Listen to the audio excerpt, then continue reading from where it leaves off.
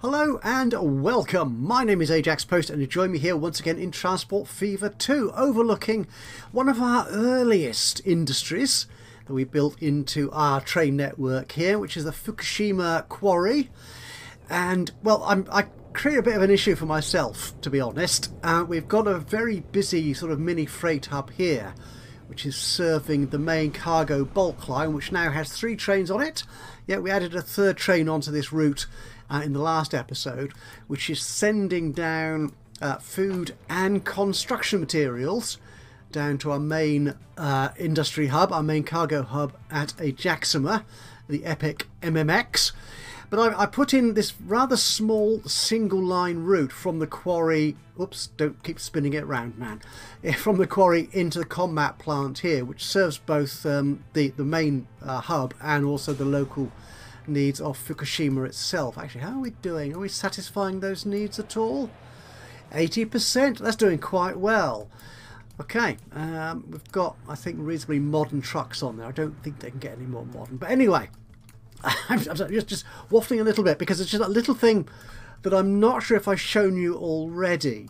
Uh, on this line here, because I I don't particularly want to put a much bigger and more expensive train on there. I mean, how much money are you making? Half a million. That's quite nice, um, but it is a bit slow. It's a bit small, and it's not quite keeping up with the output of this quarry. So as you can see here, it's overflowing the terminal storage by quite a lot. Yeah. And what I thought I could do here was add in some extra capacity on the on the on the station itself. And one way of doing that is by adding one of these extra station buildings, these cargo sheds.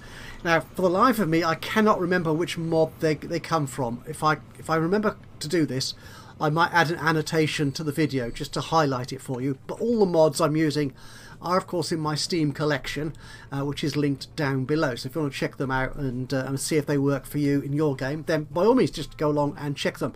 But these are quite nice. They just add some old-fashioned, not particularly Asian or tropical buildings to your stations, but they do add capacity and a little extra flavour to it as well.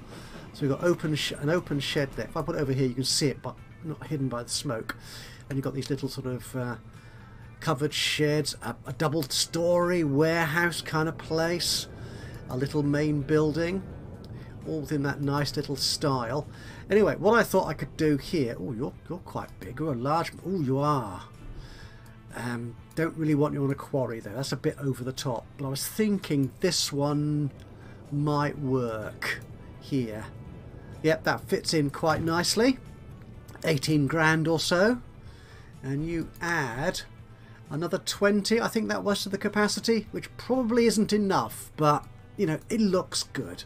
So I'm happy with that. So that's a nice little mod. Anyway, as you can see here, I'm just going to pause this for a second because we have got, astonishingly, over 5 million in my bank account and I have taken my loan down already. Uh, we've moved on about ooh, perhaps seven or eight months since the end of last episode and we've made a fair chunk of money. I've spent some and we'll, we'll I'll mention that in a minute. Um, but we are making so much money now uh, so I can actually repay pretty much all of that loan. So I've got a lot more I can take out again if I need it, which I probably will. Anyway, before we get into today's tasks, what have I done? Oh, I've increased the capacity of the grain train here, uh, feeding the... Where's the food factory? The food factory is over there. It's doing quite nicely. And we've got... Is that you? You're the... Yes, you are. There you go. So there's this train here, which I've added some new wagons to. If we go into manage vehicle, I edit you, uh, go to the cargo section here. We were, until just before I started this recording, using the WA1 wagons, the WA ones. These are here. So 9 capacity, 40 miles an hour, which matches the train we've got, that's fine. But I discovered we do have some new ones recently added, which I think was the WAFU. No, it wasn't you. Ah, it was a WAMO. Yeah, the WAMO 300, 3500 so I've added some of those. I've replaced the little 9 capacity ones with these 13 capacity ones to, to boost that up. Because now I've got three trains coming in from the main freight hub near Ajaxima. It's bringing a lot more grain into this connecting station here to be carried off to the food factory to bring back food to feed all my lovely, lovely, lovely, lovely people here in Ajaxima and Manila. Are we actually supplying much? Yeah, Manila's not really growing so much. Yeah, I, I might deal with that, but I'm kind of forgetting Manila. It gets serviced a bit.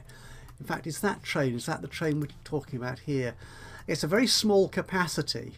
Are you actually leaving anything behind at the hub? Uh, no, oh, the hub is pretty much empty. Wow, that's impressive. So yeah, we're not getting much food sent off to Manila because quite a lot of it is going into a Ajaxima, which obviously is a lot bigger and has a much more substantial demand for food. Uh, where else has food demand? Is it Jakarta? It is Jakarta down here. Are you getting much food these days? Again, a very modest demand, but you are getting some. So yeah, so I needed to, to get all that food coming down here uh, to feed these cities uh, from our main freight hub. So that's that's working quite nicely there. Uh, the other little thing I've done is after adding Chengdu to our passenger network, um, and a little bus network obviously inside the town. Uh, ooh, well, you see, we're getting quite a few quite a few bus passengers waiting at the stops. But again, like most towns, you see bus passengers waiting at one or two stops and all the other stops have one or two or none, as in this case, uh, passengers waiting. So it's that the bus routes appear to be a little lopsided, but oh, you are still losing money. Uh, actually, mm, it's not that bad. You've only been running for less than a year. But I have added another bus to this route just to try and pick up some of that demand. Uh, is there a bus coming? Oh, there's one there. You've got four on. You Shall we watch that bus actually? Let's get the game rolling on a little bit and watch this little bus come up to this very busy station. But it's not a station, it's a bus stop, but you know what I mean. Ooh, people taking in the scenery on the top deck. Yeah, nobody got off, so we only picked up yeah, four passengers. Perhaps we need another bus on there, I don't know. But I'm going to leave it for the time being. Uh, generally talking, we're going to start working in a moment. I just wanted to say one other thing about profitability. All my lines. Uh, oh, no. Oh, why does the game do this? In the moments before you joined me, before I started introducing you to the game, I had everything in profit apart from three routes at the bottom here. And as soon as I say to you, and open this up and try and show off to you how well we're doing, the game says, nah, you're not really. You've got all these lines losing money. But they're not losing huge amounts, are they? Um, in fact, our, our latest route, Ajaxima to, Sh to Chengdu, oh, that suddenly started making money. That was losing money uh, earlier, before I started recording. Um, but and in fact we've just got the two bus routes, the two latest bus routes in Chengdu and Surat. These are the two towns we've just added to our passenger network. Where's Surat? I'm going in the wrong direction. There it is. Only those two bus routes are losing money. All the other local buses are profitable. So what is the plan today, Stan?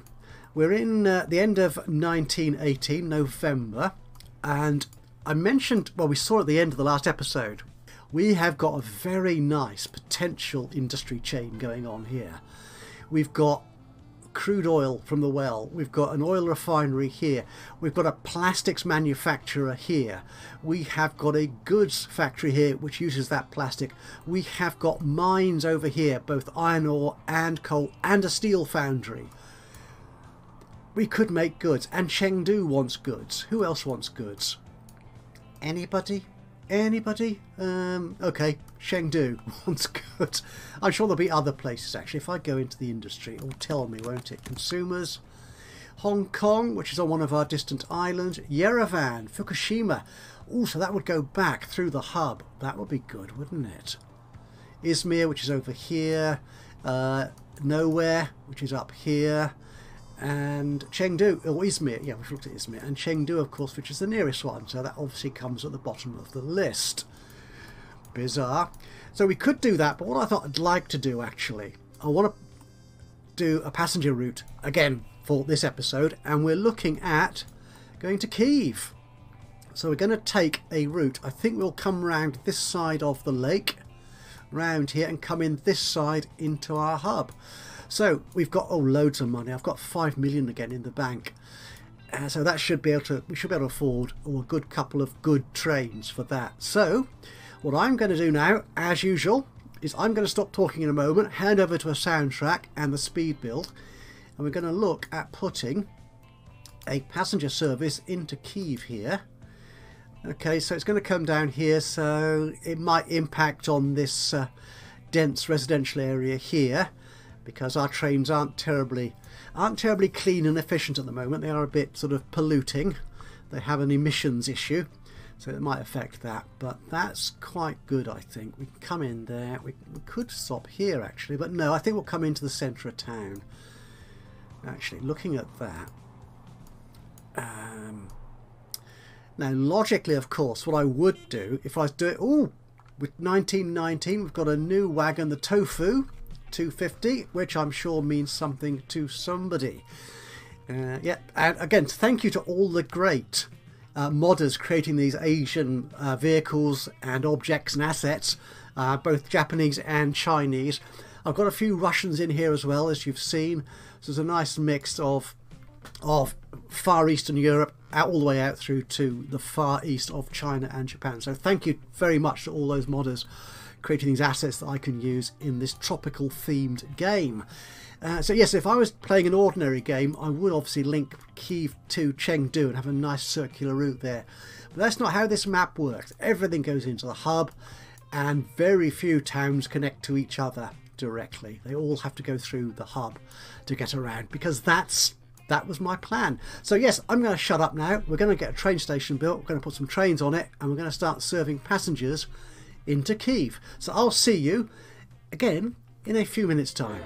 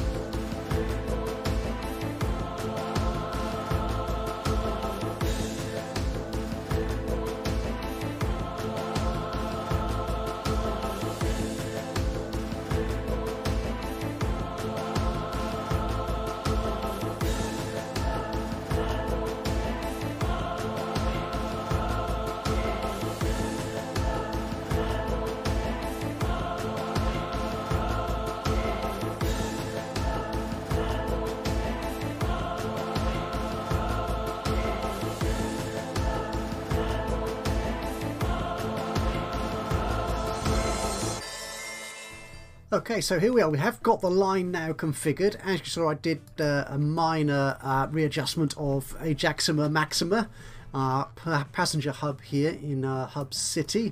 Uh, so the Jakarta route goes into a different platform now, but I mean, obviously that makes sense because the Kiev route is coming in from further north. Yes, I have got the map in the correct orientation at the moment, which makes quite a change, I think, doesn't it, really? Uh, so yeah, that's coming in there. But the thing is, what vehicles I want to use on here. We've got a, uh, our latest train is the Class S from Russia, which goes at 71 miles an hour, which is, I think, that is actually our fastest train. Costs half a million a year to run. Now, if Kiev was a nice big city, which it isn't yet, then that would definitely be worth it. So the 89 goes 56, which is a nice enough speed. It's reasonably potent, 736 kilowatts of power, although the, the Chinese one is that much more powerful. Well, actually, you're quite powerful, but you only go 43. Do you know what? Let's put one of these Class S's on it. Yeah, we'll put a Class S, 71 miles an hour, which will get lots of people coming along to take the ride. And our passenger wagons we don't have any that go quite that fast yet. Uh, okay, you're a suburban something or other. Um, I've no idea where that comes from. It's probably a mod. Uh, these red ones certainly are mods. They go 62. We've used quite a few of these already. And oh, you're, you're a different gauge yeah, I don't know what difference that makes to be honest. I'll just, yeah, some of the Japanese, or I think it's particularly the Japanese uh, mods, do have different gauges and so on. They've got a whole subset of an infrastructure going on, a bit like some of the UK mods, I think, have narrow gauge. I may be mistaken on that. So you got you carry 24 at 62. Uh, you're all different. Okay, you're a third class car. Which one are you? You're that one. Are you a you're a third class?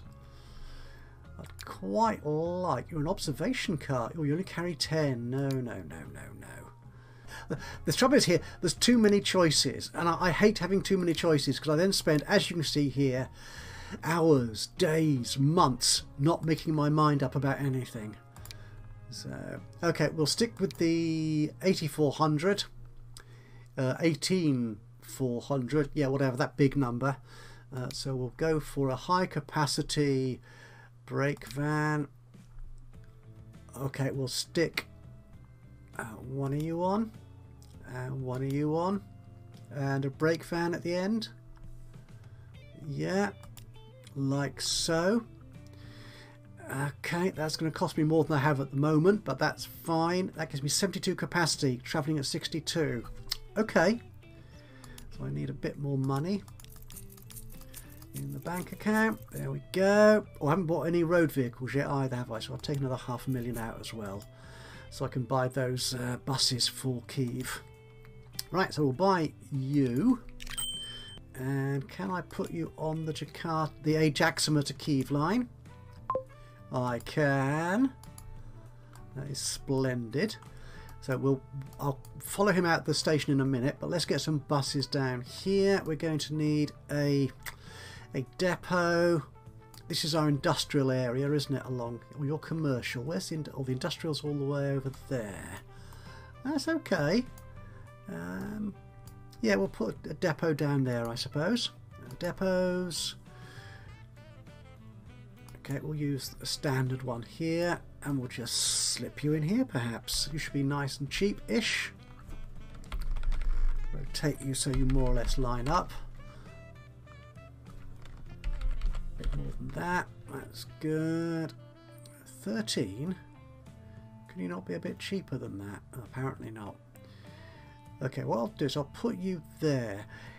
Yeah, one of the little tricks, um, I think it was another Transport Fever 2 content creator, Andrew Plays. I think that's his name. If I've got that wrong, um, I'll correct it in an annotation to this video here. Uh, but yes, he demonstrated a little issue with depots and bus stations and other road stations generally. So if you connect them directly to the road, there's a real risk you'll get traffic lights put up when traffic lights become a thing And because you're connecting the station or the depot road directly to the main road, you can't get rid of the, the traffic lights. They're there forever. But if you have the if you put the station or the depot just set back a bit from the road and then connect it with ordinary road again, then if you don't want the traffic lights there, you can delete them. So that's a nice little thing to know. And this might be a bit cheaper, I don't know. So we'll put you there, we'll put a little bit of street in there. No, it's no more, it's no cheaper really.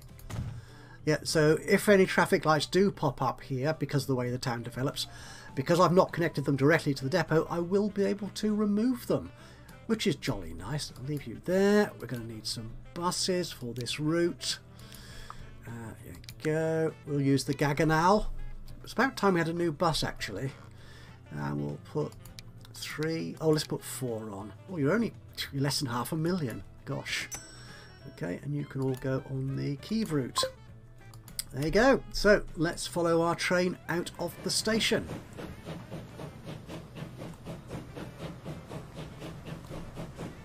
Looking beautiful. Now he's actually crossing over. I probably do need to rationalise my depots for the passenger services as well. Just like I did uh, up here for the cargo, the freight routes. I've just got these committed, these dedicated depots there. I might put the passenger depots in a more sensible place as well because they've got to cross several routes to get down to that so it's a bit complicated but it's getting there anyway so we'll just uh, have a look at you again. Yeah looking good. Going slowly as you cross over all the tracks. Actually I've got some money in the bank so I suppose I should be able to smooth you down. Oops there you go. I'll just smooth it out a bit, make that looking a lot, whole lot nicer. And I'm so happy that they all went under the bridge. it's amazing how wide a span you can get away with. Okay, let's pay some of this money back. So I'm not paying any unnecessary interest. The Jakarta train carry. Oh, it's oh, that's the Bien Phu line. Yes, you are always very busy, and you're not that profitable actually. Hmm. How many people have we got waiting here for Bien Phu? 77, not a huge number. What about uh, Bien itself? Wherever it is, you're up. There you are. Yeah, it's not a bad number. However, I was noticing actually, uh, when I was looking at this prior to starting the recording, the Fukushima line is very popular here and we have actually got fairly small trains, old trains on there. They are, how old are you? Come on, you can tell me. I'm, I'm not seeing it, am I? 15 years, you are quite old. So I think these trains could do with a little bit of an upgrade. So yeah, including the Chuffer Puffer Express, uh, so named by Steve M4. Thank you, Steve, for that name suggestion. A splendid name it is too. Um, and a reminder, if you feel like naming a train or a industry or a station or anything in the game really, then please just do give, send me a note in the comments box below and I'll be more than happy to accommodate you. So yeah, 90, 195 there. These trains do need to be bigger. And Fukushima, it's not that long a route.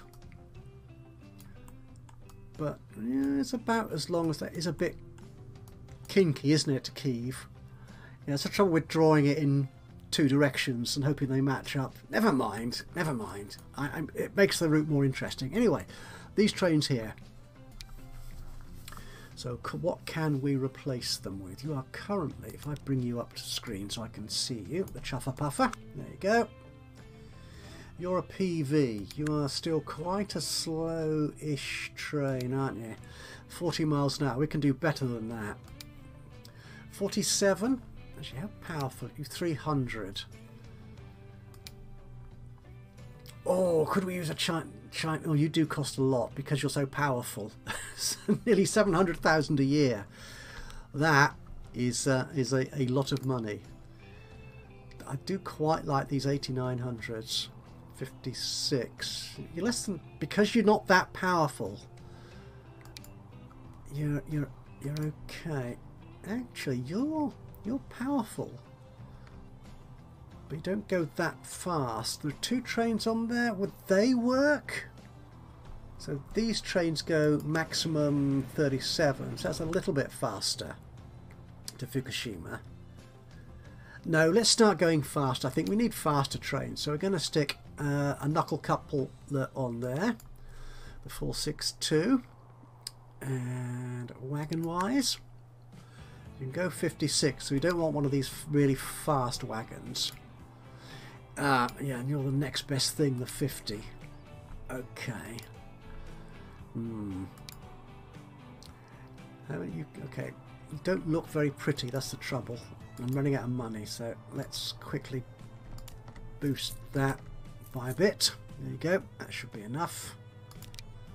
So we'll manage both these vehicles and replace them. The capacity is there's not that much more capacity and already a mediocre performance. Uh, that's the condition. Where's the performance? Mediocre, there you are. 37 in 4 minutes.